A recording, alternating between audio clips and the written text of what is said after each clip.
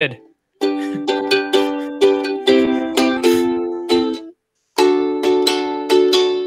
Meeple syrup. Hey, welcome everybody to the Meeple Syrup Show. My name is Sen. I use he, him pronouns, and I'm here live from London, Ontario, Canada. And it's a Thursday night, and we're glad to have some very special guests with us tonight uh, Wesley McGee Saxon and Rachel Voss. And hey, Erica, what's up? I have a dog that keeps going from door to door. So one second. That's what's up. Apparently, the dog's here. Apologies. very cute dog, so. I She's mean- the next. I'm back. Oh, okay, you're back.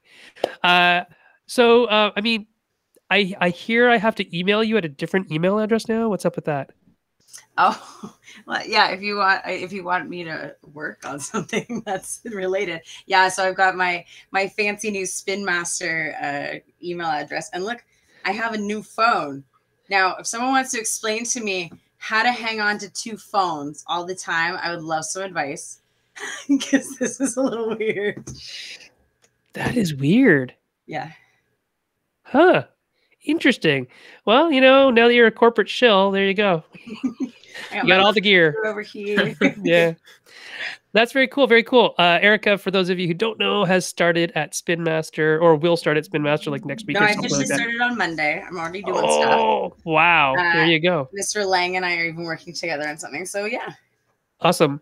Is that the sidekicks thing? Yes. Okay, So cool. A bit announced. I can say that. I can Oh, say no, those yeah, words. It's announced. It's announced. So I, I, that's I'll I'm going to be on that. Do you get to tell Eric what to do?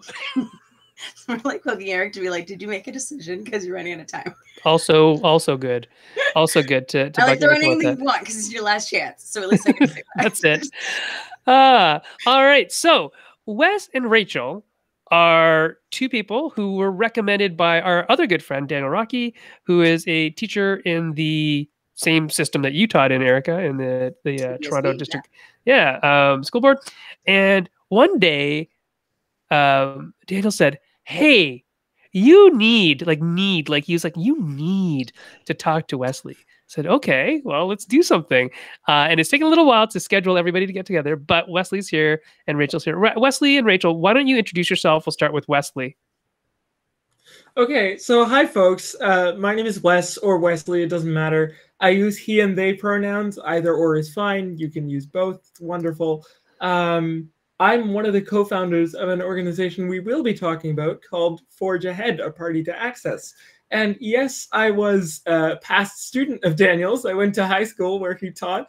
He was my English teacher. So that's how this whole thing got started. was he was my English Oh. and my drama teacher. So we would spend lunch periods in the library going over monologues for auditions and such.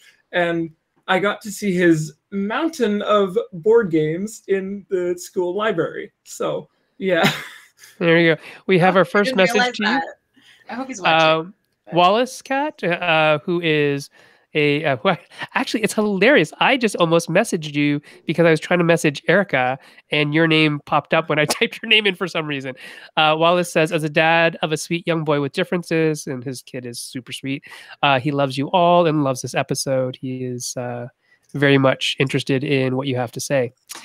He also he also knows Daniel. say, I'm pretty sure they only live like a few blocks from each other. They do. Oh, Daniel Rocky, what a good man he is. We all live very close to each other, as people know. Oh, that's awesome! And look who's here.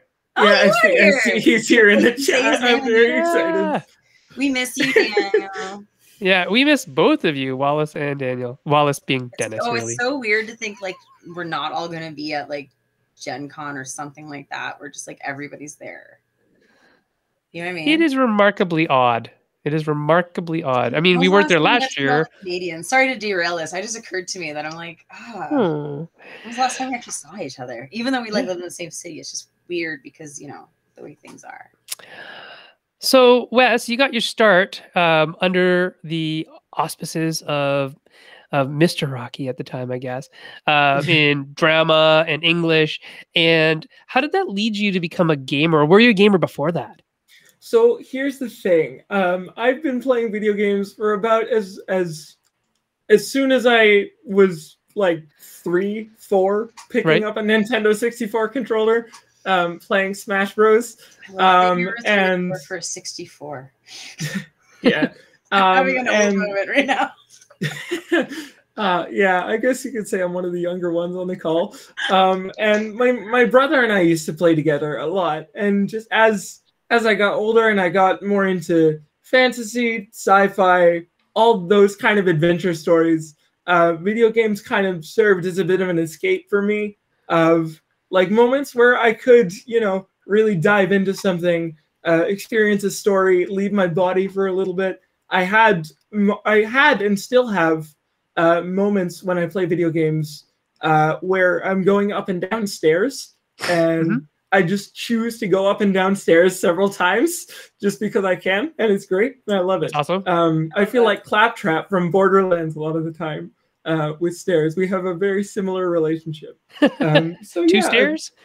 Yeah, two stairs Yeah. in general. I get it. um, but yeah, I've, I've been a gamer for as long as I can remember, pretty much. That's awesome. Tabletop's a different story, though. I got Yeah. into tabletop a couple years ago. Okay. And uh, Oh my god. tabletop. Nobody owned an Odyssey system, Dave. Daniel's Daniel's actually older than You are I a am. unique snowflake. Well, he's just older than I am.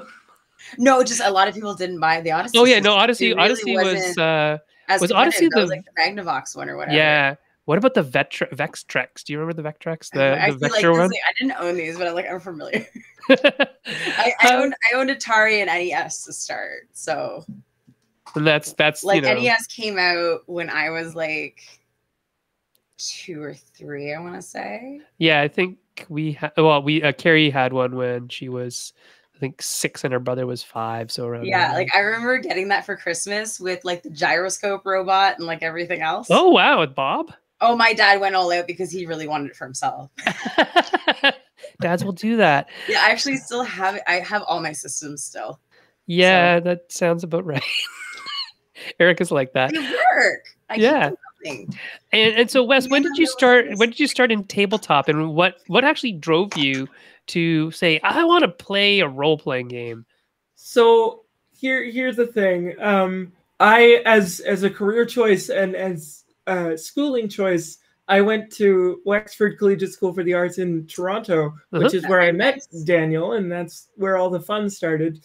Um, and because they were a school with an adaptable a program that supports students with disabilities, uh, it was encouraged that I audition for their drama program because I'm apparently dramatic somewhat. Uh, Rachel will be able to tell you that.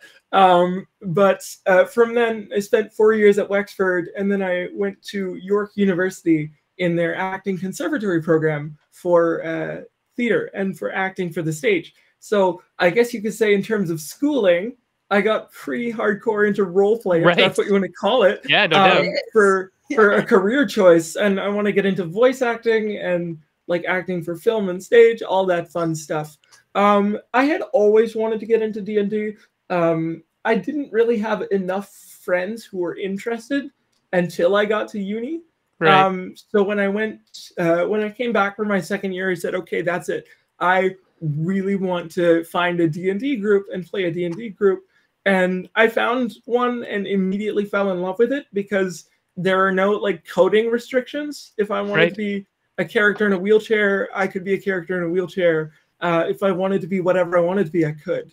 And if I wanted to do whatever I wanted to do, I could. So um, and now I use it as a way to practice different voices and accents and all that fun jazz to keep myself sharp in that way. yeah, So that's how I got my start, I suppose. that's excellent. And Rachel, what about you? What's your origin story? Um, well, my name is Rachel Voss. Um, I use she and her pronouns. And um, I guess um, my like I've always been a super nerd.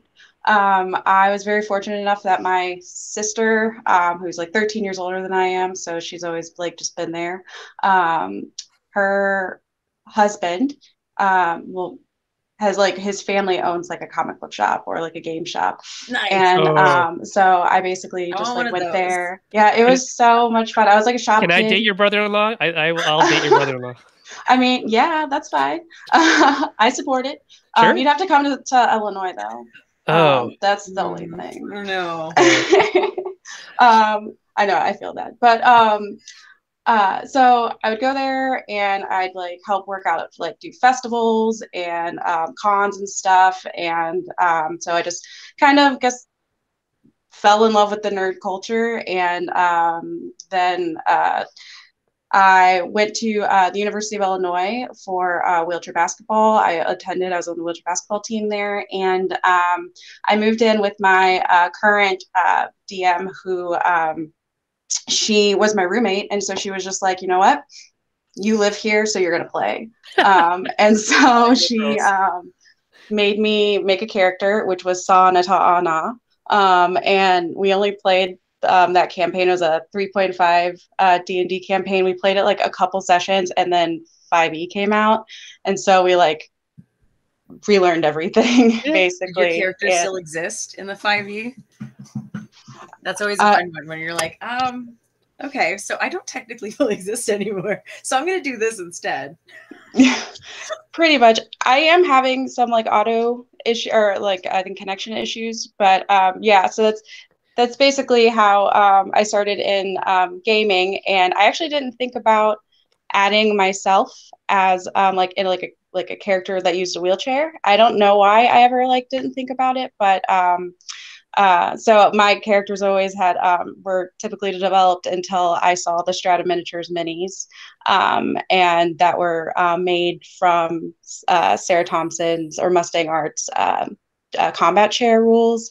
And so once that happened, that's when like my brain just went in a completely different direction. It's it's like the Fire Nation attacked the world. Yeah, changed. exactly. It it one hundred percent.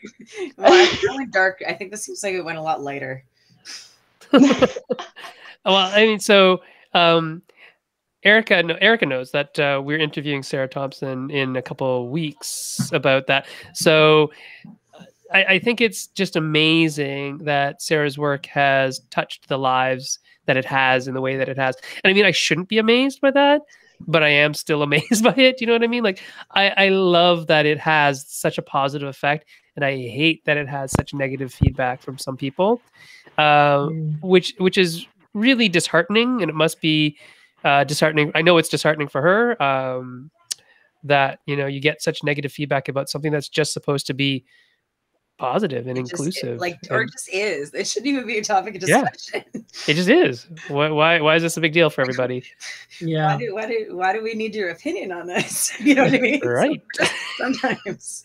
It's So- true. Yeah. Yeah. But yeah, we were we started because of those opinions and those com- the comment sections were terrible Yeah. when they first started. And it- It, It's really what fueled us so much to be able to like come together and be like, you know what, we need to do something. And like the the combat chair rules are amazing and we need to support them as much as possible. So that's Yeah. what we decided to do Right. randomly. randomly. Um, and so, so Forge Ahead is really born out of this very recent movement um, in tabletop role playing games of inclusion uh, and inclusion for visible disabilities, uh, where there's actually like tools in the game to have like a wheelchair that is rigged for dungeoneering. Um, tell us a little bit about what you're doing with Forge Ahead, and and I know now we don't know why you're doing it, but what exactly are you doing, and how are you getting the word out to people?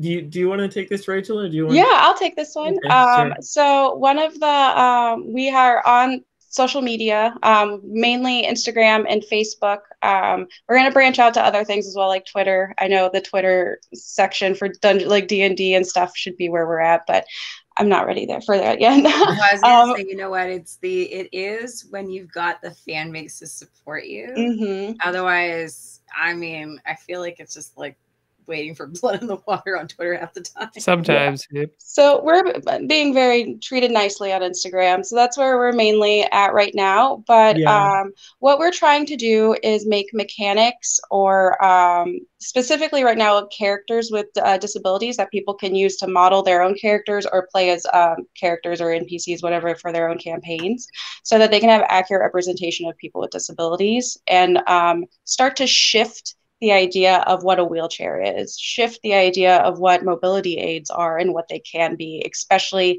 in fantasy and when magic is involved. Right. Yeah, and magic, science, that, whatever it that is. applies to Mhm. dexterity as well. Like we're shifting how even the stats are thought of in relation to disability. So Great. we're doing we're doing a lot of uh, we're writing a lot of articles in terms of advocacy and you know uh, talking to members of our communities to develop those characters. Um, Right. Like we're basing a lot of the characters that we have released and are going to release are either based on ourselves or based on our friends um, Right. with disabilities, and they have had uh, like full creative control over those characters. We just uh, we we know the mechanics. We know how to sort of homebrew stuff. So they come to us with ideas, and we throw them in a blender and come out with something amazing. So Wes, tell me, what are some of the ideas that ha- that your friends have come to you with? I saw So- one that I thought was great. The uh, the the um oh oh the service The animals. Rain. Oh, oh, the surface animal. Yeah. Yeah, Oh, yeah, yeah. You can have familiars, right? yeah. So here's the thing. Um, I I talked to uh, Rachel about wanting to do a service animal thing because in my last campaign, uh, my DM was kind enough to gift me a blink dog for a service animal, Yeah. which was amazing because I actually have a service dog who is asleep beside me, and uh, I want to. I love bringing her into uh, campaigns because we have a very very special bond that I would say goes beyond any pet that you might have because I literally depend on her for survival when I'm alone as much as she depends on me. Um, and I have always wanted to bring them in game, and I've had uh, varying experiences with DMs being ready or willing to include a service dog in a game in a meaningful way, mainly because they weren't really aware of how, you know, how service dogs can work in terms of what tasks they do, how they support different people. So uh, Rachel and I had the wonderful idea to say, you know what, we're gonna we're gonna come up with uh, content for this. We're gonna sort of do a how-to guide on service dogs and different ways they could be implemented and applied to different animals, that kind of thing. That's amazing. I love it. I think it's so interesting to to think about, you know, I mean, because all GMs drop stat blocks for monsters all the time or mm-hmm. characters all the time. So what's the difference between that and a service animal? Which Well, is like you said, basically Erica is a familiar. yeah, there's so many animals built in the game. Can't you just slightly change up maybe either how they're activated, how long they can be present, how you can whatever it is? Aren't you just kind of, you know, like maybe like either restatting or slightly homebrewing just essentially what's already in the game?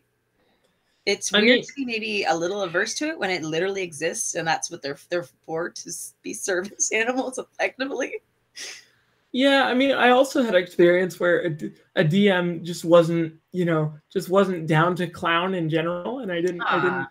I didn't stay with that group for very long um, for for those reasons. But you know, um, and we tried to make the because with all the disability related content that we are creating, like we are taking it and making it fantastical, making it all D and D because that's the system that we're using. But at the same time, we want to marry the fact that the disability stuff we're creating uh, is true to life as much as it is fantastical.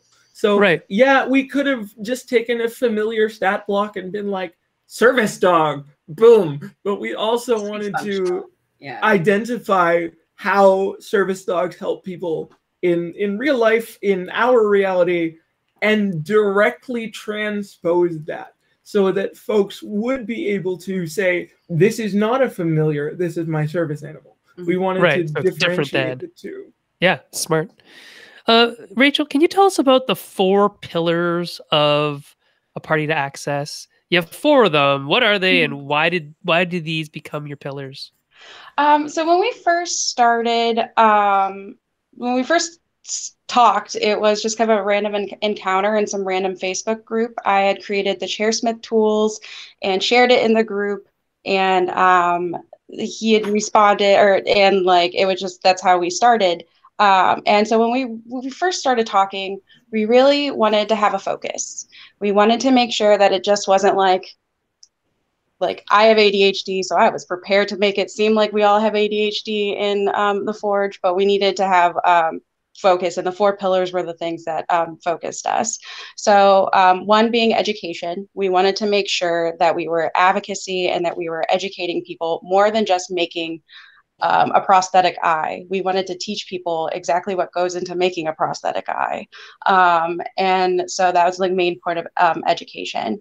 Community outreach is a huge um, factor. We wanted to um, meet, reach as many gamers with disabilities specifically as possible um, because disability isn't a monolith of perspectives and everyone has a different view depending on their life circumstances and all intersectionalities. And so um, being able to um, make sure that us two white presenting uh, disabled folks aren't the only ones being heard on the forge was extremely important for us. Mm-hmm. Um, and then mechanics. Uh, which would be those service dog mechanics, um, anything that would be um, just um, we have disability bonus mechanics um, as well, right. different things. Which I thought was um, super cool. Yeah, um, that one out. I love the bonus mechanics because a lot of yeah. the stuff that we were seeing were was very much like taking negatives yes. and making them into a positive when mm-hmm. really we do have positives. Um, per like just to go through it, like perception. Um, people with disabilities are often the and the people who work with people with disabilities are often the ones to see that something's wrong, that there's a shift in behavior, that something has changed. And that is so vital in combat. And um, so that should be um, something that is um, rewarded for your characters with disabilities. I currently have a broken rib. Um, so one of like one of the things that we talk about is how we have like higher constitution, mm. just because of the fact that like we're so used to like pain or like pain, discomfort, all that stuff. I didn't know I had a broken rib for like six weeks. Like, um, so like it's partly because of just like the way that my disability is, but also partly just because I'm used to it. Yeah. I'm used and so like it's it's something that you could like you can quantify, you can see, especially in like a tabletop game. Right. Pain um, tolerance is high for for a lot of us because we often experience a lot of varying types of chronic or acute pain yeah, as sure. a result of our disabilities. So we thought that that could translate super well into like beefy constitution scores. Makes sense. It absolutely does. I, I don't, not a lot of people on the show know this. I've had uh, chronic pain issues my entire life, like to the point where I had, I mean, daily headaches before I was seven and they've never stopped. So rather than being on meds your whole life, you really do have to start to learn pain coping. Mm-hmm. Uh, just because mm-hmm. you can't be on the stuff they want to stick you on all the time. It's just not possible. So I have the exact same story of you. I didn't break a rib, by the way. That really hurts. I've fractured my wrist and other things and had no idea. Oh yeah. Just because your divided attention for pain is just so different. Yeah. It's interesting, like on an analog scale, we often, you know, ask people, so on a scale of one to 10, where's your pain? And you just kind of want to say, well, for you, yeah, the, well, this might be a 12, but for me, it's a six. question. If you talk to anyone with chronic pain, they're like, yeah, do we, uh, I don't think you know what you just asked, but that's okay. Yeah. um, yeah. So yeah. And in terms of the pain coping, thank you for bringing that up, Erica. I just wanted to mention also, not all of not everyone with a disability in terms of geolocation, intersectionality, class, socioeconomic status, not everyone has access to the medication needed to manage chronic pain yes. or stuff like that. Having a disability is wicked expensive. And unfortunately, uh, like even as speaking from my perspective as a white, non binary, but very mask presenting person like i have a lot of privilege in terms of healthcare and i still find it really really difficult to sometimes get uh, get care that i require so i can only imagine what it might be like for more marginalized disabled folks and that's why we develop these methods of weird forms of dexterity weird forms of uh, pain coping, all that different kind of stuff. We have to to survive. Oh, let alone what you know testing out to see which ones are going to work and then finding out what they're going to do to your organs over time on top of it. That takes that that takes con- so much constitution just to even be like all right i'm going to try this and put it in your body. Like I'm that takes through the withdrawal of what this is going to feel like Oh, yeah. feel like crap. Yeah. We, we love that. gotta love that cycle man. So but then the, the yeah, fourth i should say the fourth Yeah, the fourth pillar. um, is world building um, so the, the one great thing about adding disability into uh, fantasy and gaming is that it creates so much more storytelling it Sure. creates so much more depth and um, adventure and understanding of what actually it is to be a being in a in a world you know um, and so uh, it's just world building is we have some huge plans for world building um, that we can't really discuss right now even though i really really want to well, um, we can't wait. it's coming it's Well- coming We'll have you back on is to talk about it. yes yes That would Yeah. be so lovely. We're we're in progress on some really funky stuff, but stay tuned. Uh, we've been doing a lot of writing lately for some really cool stuff. We think you're going to enjoy. That's awesome. Um, It- it- it- you will be able to see little teasers of that as we're going to do. Um, if you've seen Kipo, we're going to Scarlemagne a lot of that content. so we're going we're Nice. going to hint at some of that. Very good. turn scarlemagne into a verb Yes. Yeah. Uh, so if you are interested in looking at what uh, Wes and Rachel have currently on a partytoaccess.com, go check it out. It's awesome. There's lots of really cool stuff on there. Like you could you could have like a a job as a chairsmith, right? That's so cool. I love that you're that the idea. person who like makes them and repairs them and all that kind of stuff. That was my job very uh, for a long time. I I was uh, a person who fit wheelchairs for a very long time. Mhm. so you know Yeah. exactly how important I know- that, I that fit of a Yeah. chair is Yeah, I know exactly how important that is. um this so tell me oh i got the thing tell me a little bit about um you know i, I think i understand your philosophy uh wes and rachel but what i want you to talk about maybe is how people with you know temporary able-bodied people need to change their philosophy uh, in order to see more of the world that really exists around us in terms of you know people with disabilities are all over the place. And you know there's lots of people who have disabilities that we don't even know they have disabilities. If you, you just look at them you wouldn't know. No, uh, and then there's very visible, you know, because they're in a wheelchair and that's very visible, or you know, use a walker or canes or crutches. But what's the philosoph- the philosophical change you hope people would have when you're, you know, you release the big world that you're thinking of, or when people see things like the uh, wheelchair, the combat wheelchair? What's the philosophical change you want to impart upon people? Uh, Wes, do you want to answer that one, and then we'll give. Well, I, I Rachel. think we can definitely both both take this one because uh, it was very it was very interesting when we first got together as co-founders of the Forge. We had a period where we did have um, some differing viewpoints on like how disability representation should be handled in terms of um, tabletop gaming. So, like, if you're interested in reading about those perspectives in a lot of detail, like it's on our social, it's on our website. Please read it, check it out. Um, but in terms of like what I wish people knew about people with disabilities, first and foremost, we exist everywhere. Absolutely everywhere. Everywhere there is civilization, we exist. Another thing is that we thrive on interdependence. It, this is not the fact that we are entirely dependent on people. That is not what I'm trying to say. We thrive on interdependence. We, as individuals with disabilities, are experts at being able to foster community networks and being able to form reciprocal relationships with those around us to achieve self actualization.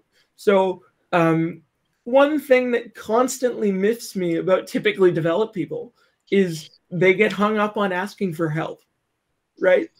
Like, Yeah. if, if you need help with something, ask for Ask. it. Like I need I need help to shower. I need help to dress, right? like that's normal for me and you know um, we just we just get used to sort of giving what we can bring to the table. And it uh, it sort of gives us the ability to have insight in terms of building those relationships fostering webs of community and sort of being the glue that holds communities together. So one of the main reasons why i got into acting and like why i was really driven was because I didn't see anybody with my intersectionality on screen that wasn't portrayed in like a super campy kind of.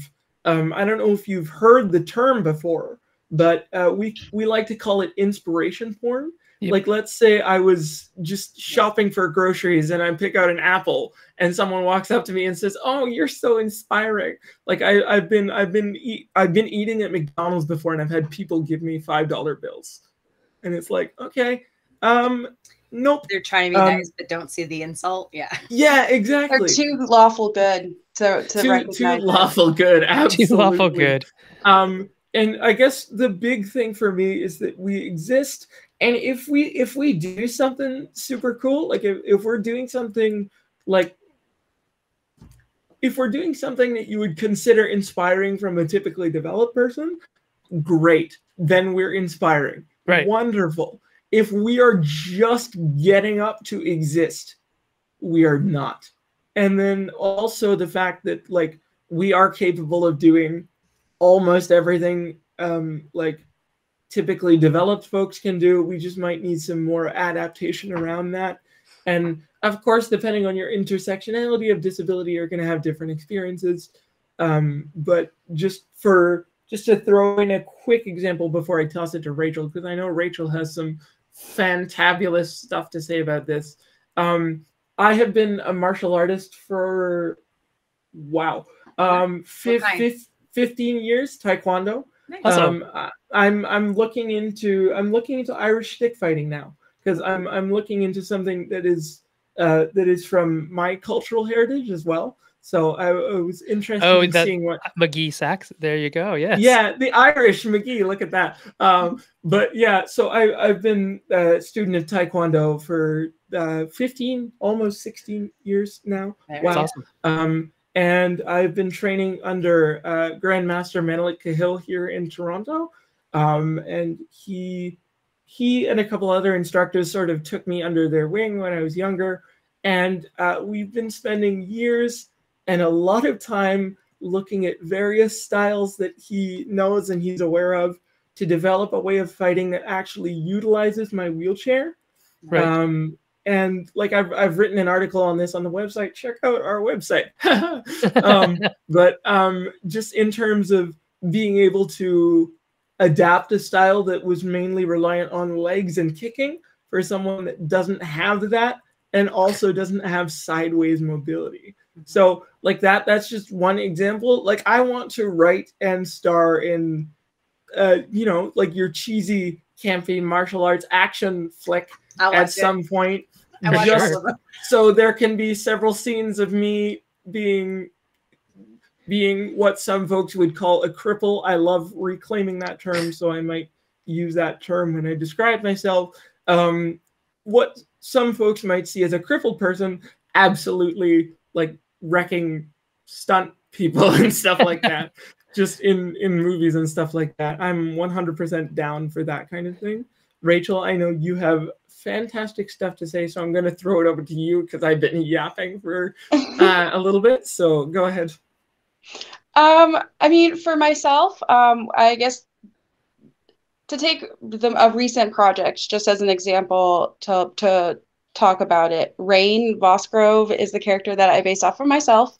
Um, it was she was our first NPC, and um, she's on our website as well. But um, I wanted she is actually it's a duo. Um, it's her and then Flux is a mimic, and mim is, Flux is her chair. Um, so um, I really wanted the like chair itself to be a tool for freedom and independence, not something because one of the things that we hate so much is when people call us like we're confined to a wheelchair or bound oh, to a yeah. wheelchair. Those it just words, it, yeah. It, yeah, those little microaggressions that make it seem that like we are stuck. It's a jail sentence. Like we are like miserable when really the Mhm. wheelchair itself is a tool that gives us Mhm. freedom. It gives us mobility and it's not something we're stuck in. It's something that we're very grateful to have. So shifting that um that perspective of like I said I already said this before, shifting that perspective of what a wheelchair can be, um, what crutches can be, um, is really what I really want to do. I want one of the things that I love on our Instagram and Facebook is that we do every Friday a new piece of equipment that um, we use IRL so that um, people can start thinking about how they would put it in fantasy worlds. Right. So, like kinesio tape, um, adding Yeah. magic or sci- more science to kinesio tape, what would that do? Um, Yeah. Sled hockey sticks that um, have like the pointy ends on the side, so like they're They are short and terrifying adaptive. and sharp. They, They are, are. terrifying and sharp. You can stab people with them. There's your spear right there. Yeah. Yeah, so there's definitely like a wheelchair itself can be a weapon. Um, I like one of the things that I hated the most um, in the comment sections is people that use wheelchairs can't have dead or produce deadly force. And um, so I just like wanted to like take do a video at some point and take like a cantaloupe and just smash it against my chair, um, like or something like Roll that. it 'cause, over. like, you know, everyone Yeah. like, watch those YouTube videos of cars squishing things. Just turn it around Yeah. and be like wheelchairs squishing things. that Yeah. Like eat it. You Less get a lot of you might get a lot of views. Hey, if a car can do it, why not? yeah.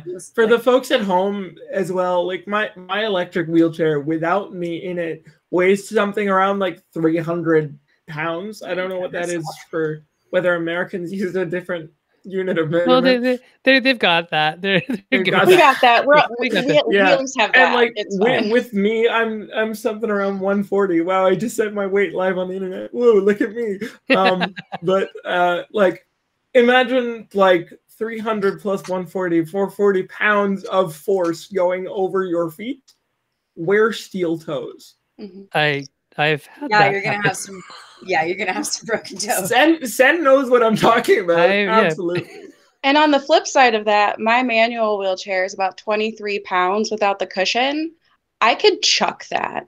I am extremely strong, and if someone like knocked me out of my chair, I'm going to grab my chair and use it as a weapon because I can.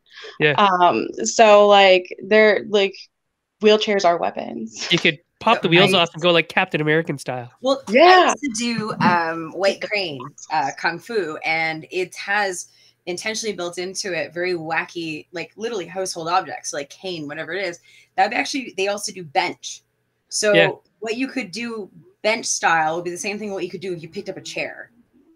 You know Yeah. I mean? Like there's a lot of stuff like that you don't realize. There are seated, you know, martial art forms and techniques. There are those things do exist 100%.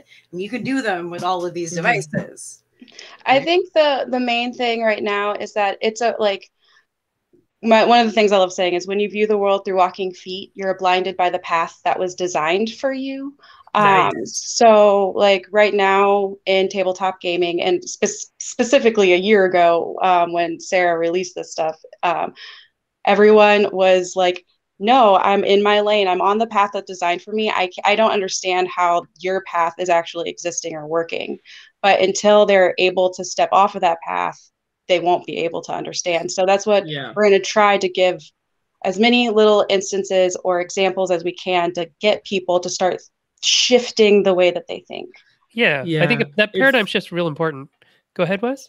If I can just tack on Of course. like one or two more things to the, to the end of that. Like and there's also a, a discussion on like magic in d&d and like disability wouldn't exist because magic right? Spoiler alert it would and we have reasons why. So we're we're more than willing to talk about that um, and also even if it didn't even if you wanted to use your magical system to heal everything to make us all typically develop not neurodivergent at all you know if we die bring us back from the dead big whoop. What kind of storytelling is that? There are no stakes to that storytelling. Do you want to be part of a story where like that kind of stuff doesn't matter where difference doesn't matter i know i don't want to be and then another thing that I wanted to bring up that I wish more people knew about disability was that like we have sexualities, we can be sexual. A lot a lot of You're A real lot of people. folks- Who knew? No, I know. yeah People- we're we're real we're real people we're hot we have sex big whoop um so you know like a lot of folks either hypersexualize which is a whole other conversation i'm not getting into or desexualize and infantilize disability Yeah. um because infantilization is a huge thing we have to deal with people talk to me like i'm a dog all the time it's it's ridiculous and i hate it um so like another big thing is like yes, the horny bard trope is overplayed and outdone. And, you know, like it takes a lot of work to be done right. Like there are a few instances of like professional D&D players really, you know, really knocking it out of the park with the quote, horny bard, unquote. At some point, do I want to play a horny bard? Yes, specifically because that bard is going to be in a wheelchair and is still going to be rolling to seduce everybody. And that at that's that's going to be making that's going to be making waves in the community. If if we do a live stream play of like me doing a horny bard during a one shot there's going to be so many angry comments about how no one would want to have sex with me and i am so here for it i am so ready for the hate You're like, I can prove it, but I'm not going to.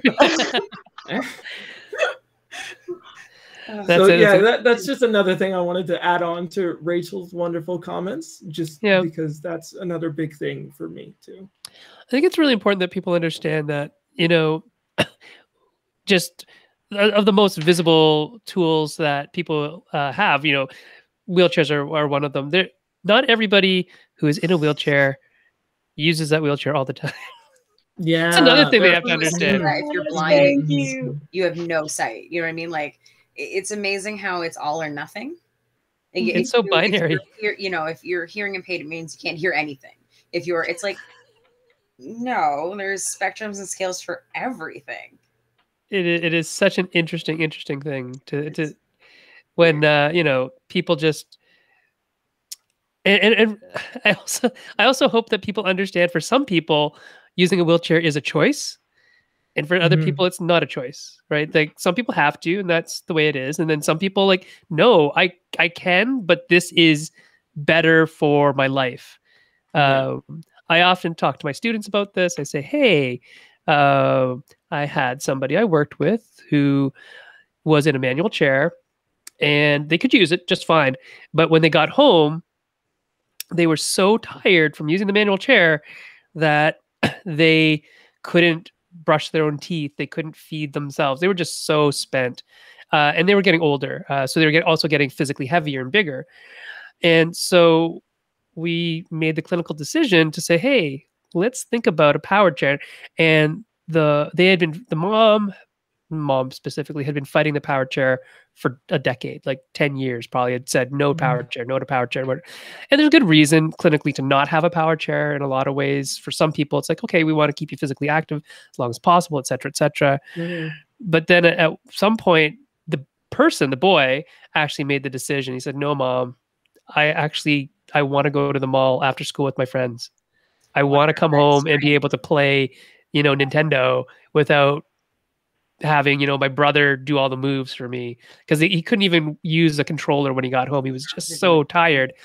Yeah. Um, and there's all sorts of other things that uh, you know a lot of people just don't understand about living with a disability or or just the, the ramifications of it. So I am a power wheelchair user, so that like that definitely hits home for me because I did I did transition from a manual Mhm. wheelchair to an electric wheelchair, especially when I went to like high school and university. yeah, High schools and university campuses, especially York University, if anyone knows York, it is freaking gigantic.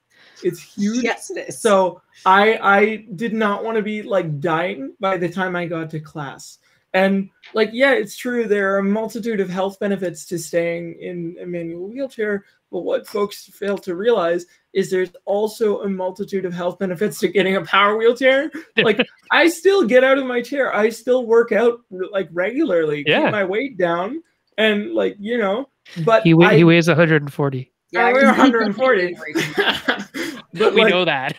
Yeah, of pure you know that CP now. muscle. That, that's gonna be in my that's gonna be in my uh, Wikipedia page. Right. Official entry as of uh, like 9:38 or whatever it was. yeah. At this exact moment in history, um, they went they weighed um 140. But like my, my point is that there there there is no one right way to use adaptive equipment. It works differently for everyone. Um, in the future, I'm planning to write an article based on a bunch of research I've done around different uses of adaptable devices in uh, medieval and Renaissance Europe, and then when Oh, the, awesome. and when the the what's called the bath chair was invented in England, that was like the English version of the wheelchair, and then it kind of expanded from there. Um, I don't know about stuff outside of uh, Europe because unfortunately, a lot of academic research is very Eurocentric. That's a whole other conversation. But, eh, um, but I will certainly be speaking from like my knowledge and my reading on like European disability history in terms of the different adaptive technologies. Because uh, just to provide a quick example, way before, um, like if the wheelchair is now the modern symbol of disability, in medieval Europe, it was the crutch. And often when people couldn't use crutches, they used hand trestles, which is basically a block of wood with a handle on top of it, and they'd be dragging themselves around on the street and begging for alms. So wh- wh- what that happens for me is what about a rogue that is a beggar that has throwing knives under the hand trestles, or the hand trestles are hand trestles of spider climb? Because if you think about it, if you're dragging yourself around all day using your arms, you're gonna be jacked as hell. So, like, Pure, Right? like just the thing. Most people cannot do even do like a dead hang because they can't hang on to their own weight. Imagine doing that all the time, essentially. Yeah, Right. Yeah, exactly, right? So that'll be something coming out of the forge in the future. So if you're interested, also there were wheelchairs that look like rolling couches. Why did we get rid of them? I would like to be pushed around on a rolling lounge. couch, please. Yeah, Just Wes, a I lounge everywhere. I feel She's- like just I, I'm not sure about this, but I feel like the Romans might be another one to look at because Yeah. of their combination of the their advancements combined with their vanity, combined with their numbers. no, I'm I'm Yeah. being serious yeah. because Yeah. I mean they they started doing plastic surgery. I Yep. mean that's frightening but true. Uh, they did like eyelid augmentations and try to put people's noses back on because you know fun syphilis and whatnot. But if they're Yeah. willing to do that, it says that they're willing to experiment uh, and push forward when because they they don't just accept the way things are. They try to to find other ways around it. Right? I wouldn't yeah. be surprised that they'd be a good culture to look at. I, I have I have looked I have looked at Romans a little bit. Another culture that I've looked at extensively because it relates to my spirituality is I've looked at uh, disability in Scottish folklore and Irish folklore. I have some wonderful sources that I'll be plugging on the website that are very anti-cultural appropriation, anti-racist, and they talk about um, representations of disability in those uh, pre-Christian cultures, and it's fascinating. And I think we're we're trying to sort of get back to some of those attitudes about how disability can actually be positive. Mm. Um, I'll be sharing those on the website in the coming future as well. So please look out for those too. Very cool. Uh, Rachel, why don't you tell us about the Strata Miniatures silent auction? What's that going on there? What's it all about? Um, so Strata Miniatures uh, was the very first thing that we saw, um, or I should say, I saw um, as looking into the dungeon diversity um, stuff coming out. And that's when I learned about the combat chair uh, rules by Sara Thompson, is when I saw the minis for the first time. And um, they really, um, Strata Miniatures is an amazing or, uh, company that created these uh, Dungeons Diversity line so that um, players can have these characters that use the combat wheelchair minis. And um, we wanted to work with them so bad. So I reached out. um, to talk about a potential uh, miniature painting contest because we love all of the miniature painters that we're following on Instagram. And so we wanted to combine their amazing art with Strata's amazing miniatures. So we created this miniature painting contest. And um, unfortunately, we only had two people uh, enter. So out of the, we were, we were hoping for 10, but our amazing um, artists um, submitted two minis each. And so we'll have four painted Strata Miniatures minis um, available uh, for a silent online silent auction starting this Friday, the 18th, and will go until the 25th. And 100% of the proceeds goes to EDS Support UK, which is the um, charity that Sara chose um, that 25% of all of the mini sales go to for Strata Miniatures. Very cool. So yeah. That's so neat. Um, what other types of stuff in terms of advocacy do you hope to plan in the future? What do you What do you want to do? How are you going to use your platform? That that's the big question, right? Yeah. so, what do you think, Wes? What are you going to do? Well, I'll I'll let I'll let Rachel answer this first. Um, if if you have stuff ready to go, or if you want me to go first, because I can. Do you, do you want to go, or do you want me to take it first? You go first, so I can think. Okay. I mean, like we we just want to continually be pumping out content, um, pumping out articles, um, creating a space for discussion around disability in tabletop, but like fantasy in general. Um, we, we, we, we would love to be a catalyst to see like uh, accurate and faithful disability representation of all intersectionalities um, be more normalized in these kind of things, especially in like science fiction stuff um, too. So we're we're going to be hopefully using our platform for that. Um, continuing to partner with some amazing people. And with uh, stuff that we're not able to announce yet we do have uh, larger projects underway that we're hoping to get elevated and out there um, to have something concrete for people and that's all i'm going to say about that because i don't want to say too much. Um, i was say i have a little bit i was going to say about it that won't give too much away. Yeah okay go ahead. You, if you have stuff go ahead. So basically every single element every npc every mechanic everything that we're doing for now until the foreseeable future will be going towards something.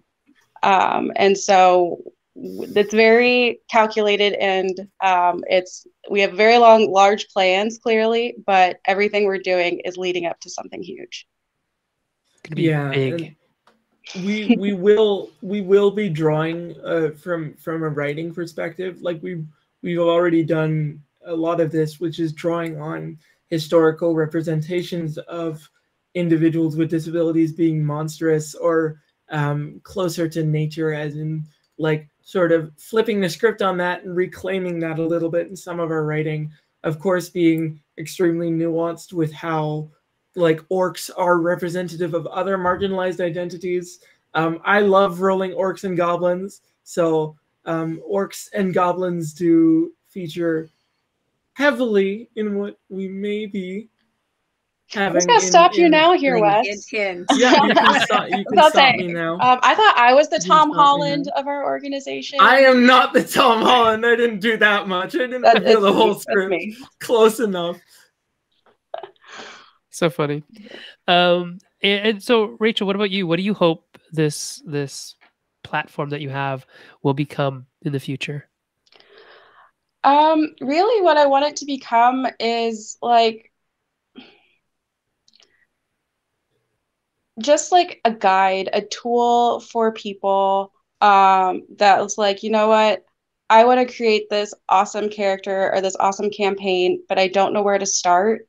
I'm going to go to Forge Ahead a Party to access because they're going to have so many ideas for us. Mm-hmm. That's I want like it to be easier, um, to be a place where people can get answers um, and not feel so hesitant about creating those characters with disabilities. And um, we've had so many people reach out to us on Instagram um, and just like talking to us about like how um, how to be appropriate, how to make sure not to or to avoid different tropes and things like that. So another um, thing that Wes and I have been talking about is doing some consulting things. Um, right. Where, um, it Yeah. just makes sense um, that if uh, we're very knowledgeable in disability and gaming, and so um, working together to help do some major consulting would be Yeah. amazing for the That future. would that would be a dream for us. I mean, acknowledging that we're both two white presenting folks with disabilities, we'd only be consulting within our absolute lanes to consult, right?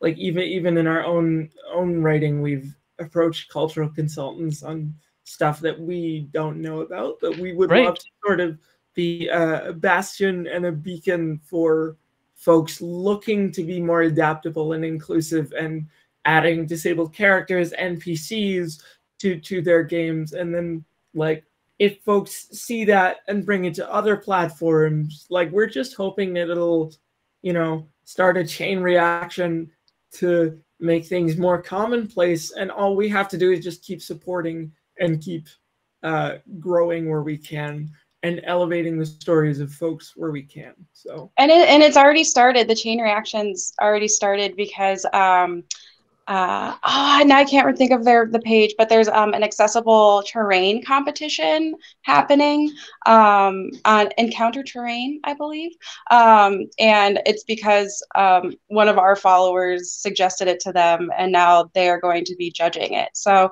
um, we're already like starting to like just get those like starting to spread and, and getting those ideas of what accessibility could actually be um, in fantasy and gaming. Right. That's really cool. Um, I, you know, I think there's so much that uh, needs to be done. I tried to do this a little while ago before the um, before the whole pandemic thing happened.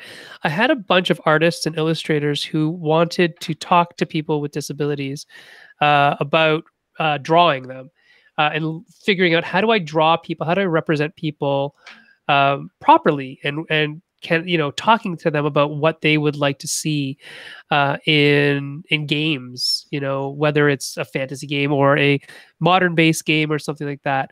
Uh, we often see very uh, you know kind of heavy handed, kind of tropey drawings of people from all walks of life, and the part of the reason that some of my friends who are illustrators like I don't you know I don't know how to draw people with disabilities and I don't want to insult them. How do I do that? And I was going to put something together, and then you know everything happened the way it did.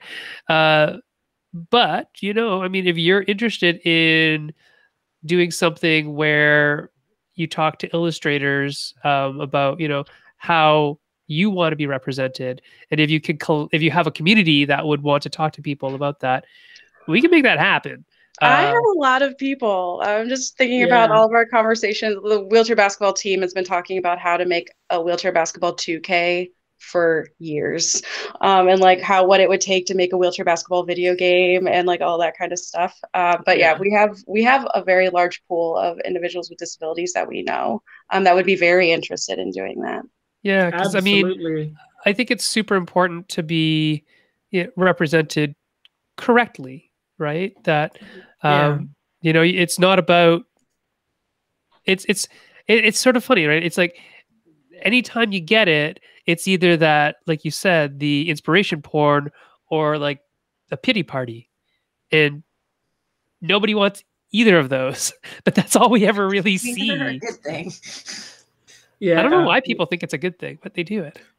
I find there's there's a lot of either just misrepresentation or th- this is rarer, but it's still ridiculously awful. Just plain uh, appropriation of disabled experience, like especially if they make if a character is written to become temporarily injured or something in in a rather minor way. I've seen writers kind of absolutely play that up with like the really campy representations that they have seen and they start telling stories from a disabled perspective that they don't mm. really have business telling those stories from.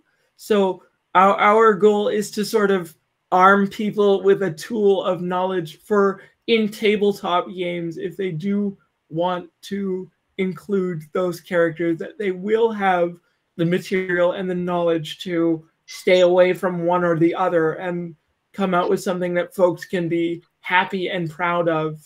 Because when when the opportunity, when those do come up, when stuff comes out that we can be proud of as a community, it makes such a difference. Such a difference. Our like our whole organization we mentioned is in essence started from a chain reaction of the uh, the combat wheelchair that was released, right? And stuff like that. So we're hoping to be that for other people to just create more good disabled representation out there. That's not.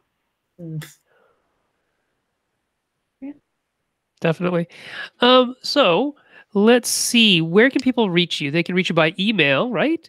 Mm-hmm. uh, through a party to access at gmail.com. And I already put the link up, but for those of you who haven't seen it yet, check out everything that Wes and Rachel have put up at www dot a party to www.apartytoaccess.com. Uh, you might see it called Forge Ahead, uh, but that's the URL right there. Um, yeah. And uh, I mean, you're not on Twitter yet, but when you when you decide to go out there, you can be on Twitter. And if you are on Twitter, you can follow us at uh, Meeple Syrup. Myself, I am at Senfeng Lim. Erica, where are you at? I'm at Erica Vigorous. And again, I said already at Meeple Syrup for the show. If you like what you saw today, if you want to support us, you know what? Don't support us. I think if you, I'm going to turn that off.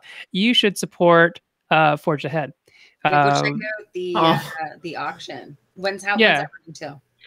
It runs until the 25th, so the 18th until the 25th. Um, and that that is all through your site. You can find it, right?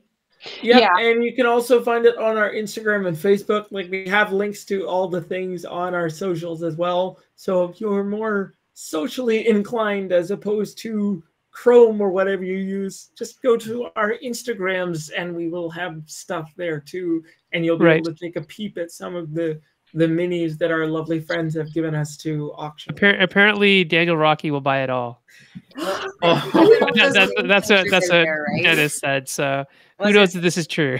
This is going to give them something potentially like new to paint too, which is nice. Like think about the mini painters out there that are like, I'm done that set. I don't know now what. It's like they mean anything that can be new people are going to be very excited by it right now. I have a feeling. And Wave Three is coming out for Strata Miniatures, and oh, if you haven't seen Wave Three yet, every single chair is like will. it's the shifting what you think of a wheelchair could be. That's um, awesome. There, yeah. There's a track chair and all these other things. So Wave Three is coming, and it's so good. It's okay. Well, well Dennis, just just get the chair and Get somebody to paint it for you, you or try or learn. There you go. Uh, people who do that. Chad Elkins says, "Excellent conversation. Thank you." Um, Adam Young is saying that was a fantastic chat. Thank you. And uh, your ex teacher will check out your website for sure. Please go look, guys. Please go look. Um, yeah, and, and and put in a bid on the. You can get that miniature now. Uh, well, I mean, Dennis, these are pre-painted, aren't they? They've been mm-hmm. painted already. Dennis, they've been painted already you can get combat wheelchair. Yeah. That's awesome. Get it. Um, what do you think about what's the one piece of final advice uh, that you would have? We'll start with Rachel for the audience. And the audience is, by most accounts, they're I'm looking at them mostly designers. Uh, mm-hmm. There's definitely publishers out there in the audience, uh, and people are already saying that they are going to go bid. Um, so, yeah, who what would you like to tell them uh, from people at Forge Ahead to people out there who are designing games, uh, whether they're role playing games, board games, card games, who are publishing them? What would you like them to know? If you start with accessibility first, it's so much easier. Um, whether it's building a building, building um, software, building a game, if you start with accessibility as the forefront, you create the curb cut effect, which allows everyone to have access. Right. And a lot of the times, gaming, um, it's accessibility, gaming, and um, act like buildings and stuff. It's always an afterthought. It's slapping a ramp on the side just to fix the accessibility, or in web design, that gets expensive. Um, having to like do it um, as an afterthought. Whereas if you start with accessibility, you will make such great Mhm. advancements in just everything in story, in playability, and replayability. Um, so yeah, that's what I would say. Excellent advice. What about you, Wes? What's your advice to the designers and publishers out there? Um, well, the first thing that popped in my head was if if you're curious about how to make things accessible, um, ask. Mhm. And even even if there are even if folks don't necessarily want to talk in that moment, there'll be someone who is willing to consult. Maybe us, who knows? Um, but ask for sure. And also just the reiteration that we're we're not a monolith. Um, we're we've tried to bring in a multitude of perspectives today, but of course we can only rely on our own. So if you are thinking about including disability and adaptability, which you should be, if you're not, why are you not thinking about that? But um, if you are, just remember that you may not be able to encompass all of disability in one thing because that is literally impossible. But you have to start somewhere. And we are a community that thrives on helping everyone because every accommodation made for our community benefits everyone, no matter who they are. If anybody's ever used an electric door strike to open a door, you can It thank would five yeah, everybody else. It, it should, it should if just sorry. I was saying, if anybody has held a coffee in their hand and used their cell phone with one hand, that's universal design because of ADA accessibility on web app um, stuff. So yeah, thank thank ADA for that one. Yep. There's so much out there. Uh, even things like you know voice recognition and all that kind of stuff, Oh, which yeah. we, we think of as you know this newfangled technology. It's like, well, it's it it just wasn't available for real cheap before because Non, it just yeah, wasn't that accessible. It, it needs. I type uh, with my voice. I use Yeah. voice recognition. I can't type with my hands fast at all. I write essays with my voice. Yep. Oh, I And- students do now that too, just because honestly, they think better than they can compute even with their hands or write with their Yeah. hands, right? So it's amazing where that that allows them to feel like they can still be confident, you know? It's just another way of translating that. Dennis says there's never a good reason to exclude any person from gaming because of differences, uh, and it's so important to remember that. He said, "Thank you for reminding us. My heart feels full tonight. Thank you." Um, I want to hear more about this last one. oh, his colleague teaches students to type with their Is eyes. Is it like your cicada rhythm? Like Ooh. picks up? no, it's it's it's, It's the um, eye gaze eye gaze. technology. Mhm. Oh, Yeah. We have we featured have a that. thing about that. We Yeah, just we just- featured that actually. We just featured that on our equipment IRL. It's a low intensity light that is shined in one of the eyes, and you're able to, um, based off of the way that the light moves off your eye, you're able to um, pick and select things on the screen. That's cool. Yep. Yeah, it's pretty fun. And I know of a researcher that the last time I chatted with him, which was granted a long time ago, uh, was working on developing a way for folks to type with their thoughts. yeah, It took five minutes, but you could type. It took five minutes per word, but you could type words. So he was at that point. So he's probably a lot closer to fast thought typing now. Yep. If anybody who's any type of like uh any type of either comatose or any type of you know eh, whatever it is that's like disconnecting you from your your ability From to communication. communicate exactly Mhm. imagine wow just that possibility right Mhm. so much, so much out there. Um, paralysis that was the word i was looking for i'm tired Yeah, it's okay. So uh, this Friday we have uh, Andy Dessa coming in. At, it'll be 4 a.m. his time, 8 a- 8 p.m. our time. That's He's good. coming in from India to talk about gaming in India. Uh, Austin McKenzie and Kevin Wynn are coming in to talk about their role playing games. Uh, Austin is the author of Valorous, and Kevin is the author of Volley Boys, which I am super in love with because it is basically uh, a sports anime role playing game. It's it's like Haikyuu, the volleyball game. I was gonna say there's enough shows. It's about time it's an anime. Yeah. It's a- sorry, it's an RPG. and then if you uh, come back next Wednesday, we have one of the best in the business for videography and photography, uh, Tim Chuan, coming on to talk to us about his stuff, his his skills behind the stuff. lenses. He is super good. So that's it for tonight. Thank you very much to everybody who came and watched. Thank you to Rachel and Wes for coming and telling us about Forge Ahead, a party to access. I almost said a path to access. That's why I need to go check it. A path to access. Please do go check out a party to access at, at. And remember to bid on the Strata Miniatures silent auction. All right. So we'll see you all later. And uh, Dennis says, Good night to my new heroes. Oh. There you go. All right, you've made a fan for life, the two of you. Den- Dennis, uh, Dennis has a son who has um, different abilities. So there you go. Excellent. We'll talk to you all later. Good night. Thank you very much, Wes. Thank you, Rachel. We'll see you all.